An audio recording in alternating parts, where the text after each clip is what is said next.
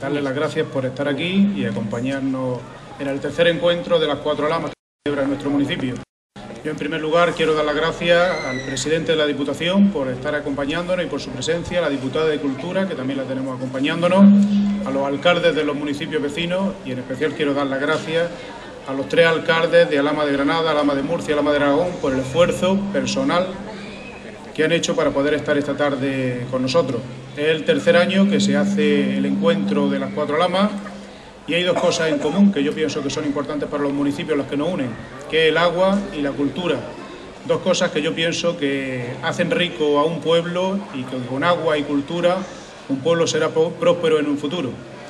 Eh, yo pues quiero darle a todos los asistentes las gracias por su presencia y decirles que disfruten del acto que hoy, durante hoy, mañana y ayer por la tarde tuvimos de las Cuatro Lamas. Vamos a estar celebrando en nuestro municipio, darle también la bienvenida a las tres, a las tres bandas de música que nos acompañan hoy, desearle que tengan el mejor recuerdo de nuestro municipio y que su estancia sea entretenida durante estos tres días en Alama y que sea acogida por la gente de nuestro municipio con el mayor cariño y que tengan unos días de ocio y se lleven un buen recuerdo de, de nuestro pueblo. Yo sin más quiero darle la palabra ahora al alcalde de Alama de Aragón.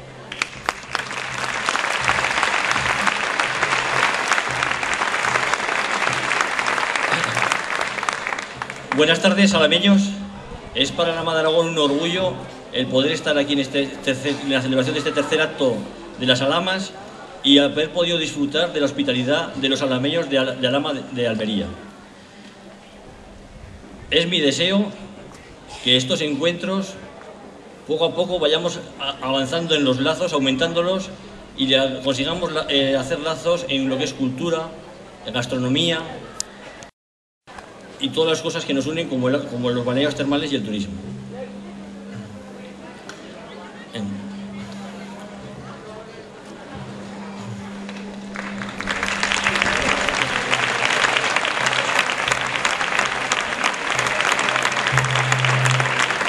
Muchas gracias. Queremos dar también la palabra a José Fernando Molina, alcalde del Ayuntamiento de Alama de Granada.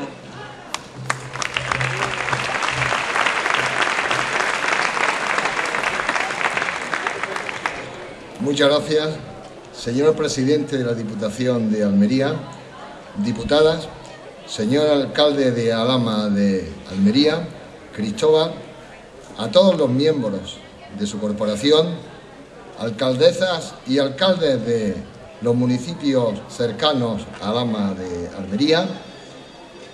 Es para mí un gran honor estar hoy aquí representando a Alama de Granada también quiero, evidentemente, agradecer la presencia del alcalde de Alama de Aragón, del alcalde de Alama de Almería, a todos en definitiva porque es una trayectoria que ya nos encontramos en el Ecuador y es el tercer encuentro de la Alama.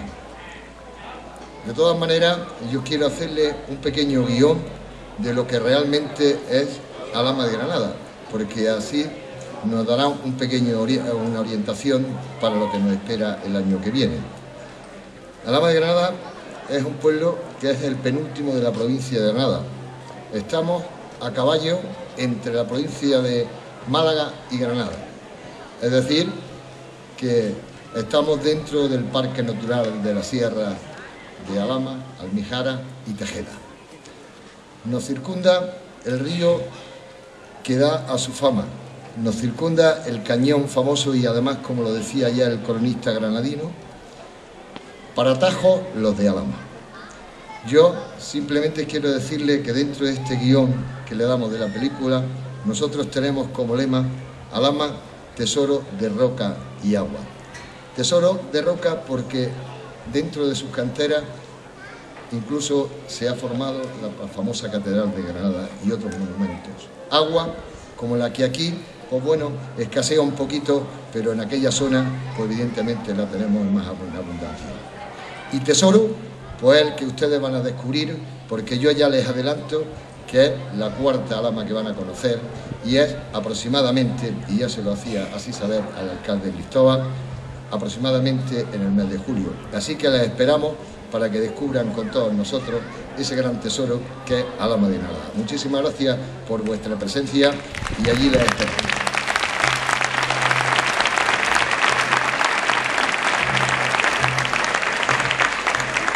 A continuación, Alfonso Fernando Cerón, alcalde del Ayuntamiento de Alama de Murcia.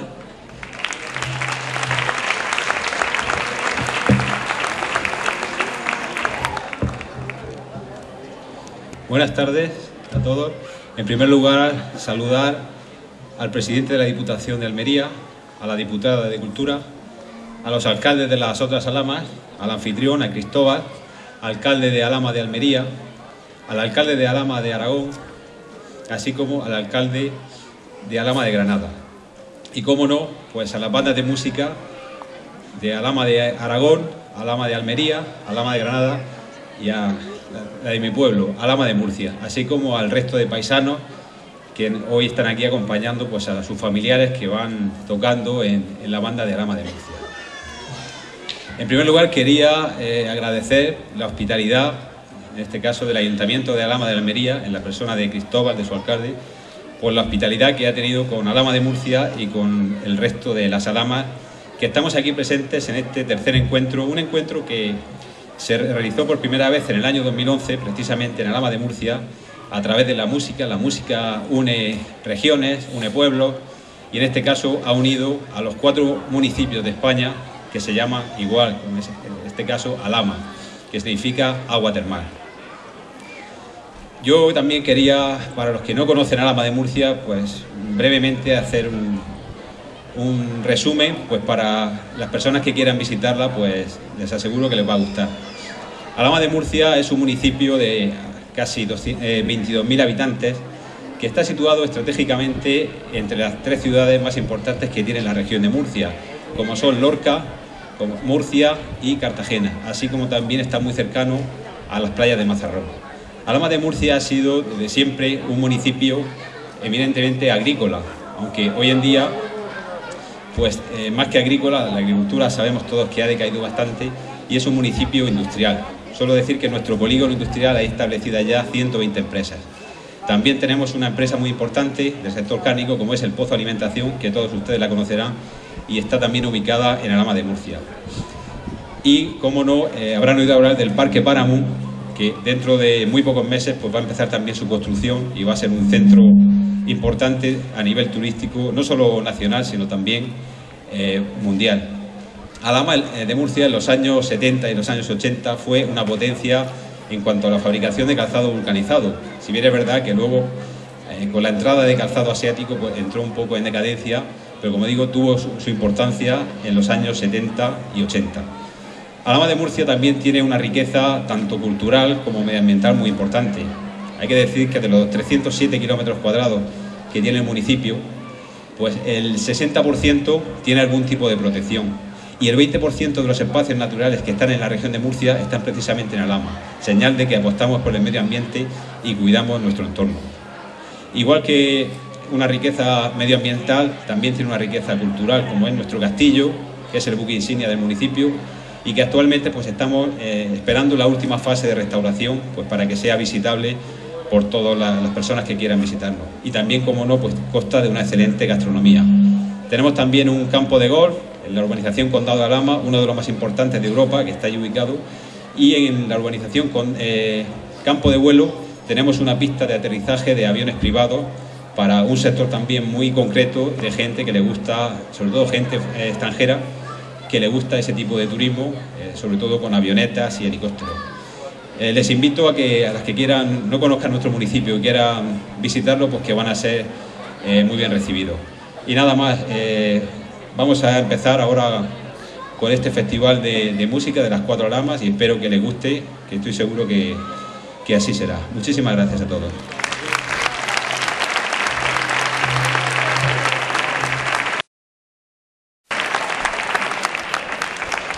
A continuación, Cristóbal Rodríguez, alcalde del Ayuntamiento de Alama, va a hacer entrega a los alcaldes de Alama de Aragón, Murcia y Granada de un recuerdo conmemorativo de este tercer encuentro de las cuatro Alamas.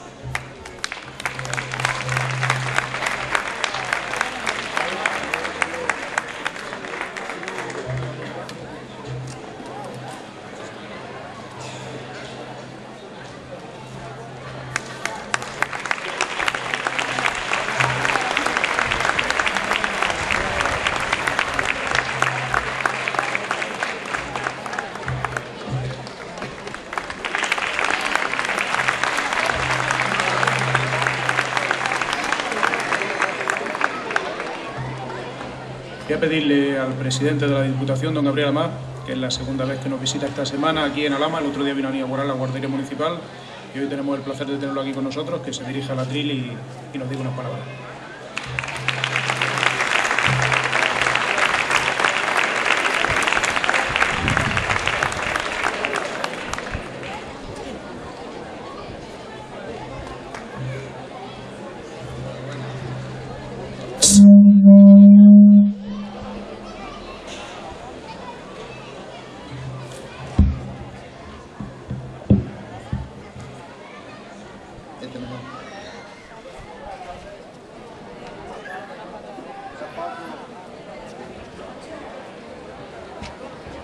Buenas tardes.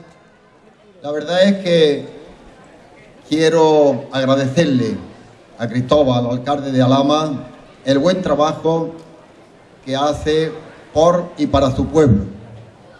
Efectivamente, el otro día estuvimos inaugurando una guardería que es muy importante, que se han hecho con fondos de la Diputación y del Ayuntamiento y creo que eso es lo que tienen que hacer los alcaldes, trabajar por y para su pueblo. Quiero agradecerle al alcalde de Aragón, de Alama de Aragón, al alcalde de Alama de Granada, al alcalde de Alama de Murcia y a las bandas de música, que fueron ellas, según me han comentado, las que iniciaron este hermanamiento y estos eventos que son muy importantes para unir a cuatro pueblos, a tres pueblos con la Alama de Armería. Se ha hablado de cada Alama, de cada municipio, la grandeza y todo aquello que tiene, que es muy importante, y que los alcaldes, con gran trabajo y con gran esfuerzo, tienen que llevar a cabo día a día. A veces no es fácil, es complicado, y en estos momentos que tanta crítica hay a las personas que estamos trabajando en la política, yo diría que el 98%, el 98% de las personas que se dedican a la política, lo que hacen es esfuerzo, trabajo y defender los intereses de sus ciudadanos, que eso es lo importante. Hoy aquí tenemos alcaldesas de municipios alcaldes de municipios pequeños que lo único que hacen es algunas veces poner dinero de su bolsillo para hacer algunos viajes, para ir a algunos sitios, perder tiempo de su familia para atender los problemas de los municipios y muchas más cosas que hacen día a día. Y sin embargo parece que todo el mundo es igual. No, el que lo haga, que lo pague el que lo haga, que lo pague como en todos los colectivos. Y la verdad es que tenemos la suerte, tenemos la suerte de tener mucha gente muy honrada y tener mucha gente que lo único que hace es trabajar, trabajar y trabajar. Se ha hablado de la Alama, yo quiero hablar también un poco de Alama de Armería, aunque el alcalde es el que más lo conoce, pero yo conozco dos o tres cosas importantes. Lo primero es de la buena gente que tiene. Yo tengo la suerte de tener muchos amigos, muchos amigos que, lo hemos conocido, que nos hemos conocido hace ya muchos años, en los años setenta y tantos, en los años ochenta, que eran y que son muy trabajadores y que una gente que daban la mano y eso era más que un contrato. Eso es una de las calidades que tiene Alama la buena gente, pero luego también ha sabido adaptarse de unas cosechas al 100% de la uva, que era lo que más se producía en Alama, también ha sabido adaptarse a tiempos diferentes y ha sabido adaptarse a criar hortalizas. Hortalizas que también están dando una buena rentabilidad. ¿Qué sería de la provincia de Armería si no tuviéramos los invernaderos y no tuviéramos las hortalizas que tenemos. Eso hace en la provincia de Armería que tengamos aproximadamente entre 110 y 115 nacionalidades, gente de 110 y 115 países en nuestra provincia. Nuestra provincia ha sido y es una provincia que ha crecido y que ahora mismo disfruta aproximadamente entre 680.000 690.000 habitantes que tiene la provincia de Armería. Una provincia que se ha hecho con mucho trabajo, con mucho esfuerzo, con mucho sacrificio y con pocas ayudas de quien tiene que ayudarle, las administraciones. Porque todavía, por desgracia, ni tenemos la 7, avenida del la autovía del Mediterráneo terminada, ni tenemos el tren de alta velocidad y tenemos el aeropuerto más caro del mundo. En contra de todo eso que hemos tenido, en contra de la rentabilidad de nuestra provincia, hemos sabido, hemos sabido, hemos sabido situarnos en una prosperidad y en un trabajo importante. Se están pasando momentos difíciles, se están pasando momentos complicados, pero tenemos algo muy importante, que no descansamos ni de día ni de noche. Y hemos sido capaces de transportar y conseguir de algo que no que, que, era prácticamente como el suelo de esta plaza en una de las mejores fincas agrícolas que hay en Europa, con gran productividad, sin despreciar a Murcia, sin despreciar a Aragón y sin despreciar a Granada, que también, que también, pero hay zonas que han tenido la ventaja de que las comunidades se le ha echado una mano. A Granada y Armería están olvidadas de la mano de Dios. Espero que eso no sea así porque los ciudadanos, los ciudadanos no tienen culpa absolutamente de quién está gobernando. Los ciudadanos los ponen y los ciudadanos los quiten. Y ahora lo que tenemos que hacer es trabajar todos para darle la calidad de vida que los ciudadanos requieren y que los ciudadanos se merecen. Pero en este momento, como estamos para celebrar el evento de las cuatro lamas, os deseo y os felicito a los cuatro alcaldes y que en el próximo año, en el próximo año sea tan importante para el municipio que se vaya a hacer como está haciendo para la provincia de Armería. La Diputación Provincial estará con el alcalde de Alama de Armería para todo aquello que haga falta y creo que algo habéis estado comentando por ahí antes. En vez de estás parado hasta la próxima, hasta el próximo año, durante todo el año se puede hacer algo. Hay las cuatro lamas, creo que tenéis cosas históricas muy importantes. La vida del pueblo, la historia del pueblo. Todo eso se puede poner en exposiciones en cada municipio, todo eso para que cada municipio vaya conociendo a Lama de Armería, a Lama de Aragón, de Murcia y de Granada. Eso nosotros desde la, Diputación colaboraremos con el Ayuntamiento de Alama para que así sea. Cada uno, a cada presidente de las Diputaciones, ponerle el compromiso. Yo creo que Murcia, eh, Granada y Aragón, yo creo que todos serán partidarios de que las cuatro lamas le ofrezcan a todos los ciudadanos todas sus bellezas toda su cultura, toda su gastronomía y todo aquello que es bueno de conocer. Muchas gracias y a divertirse.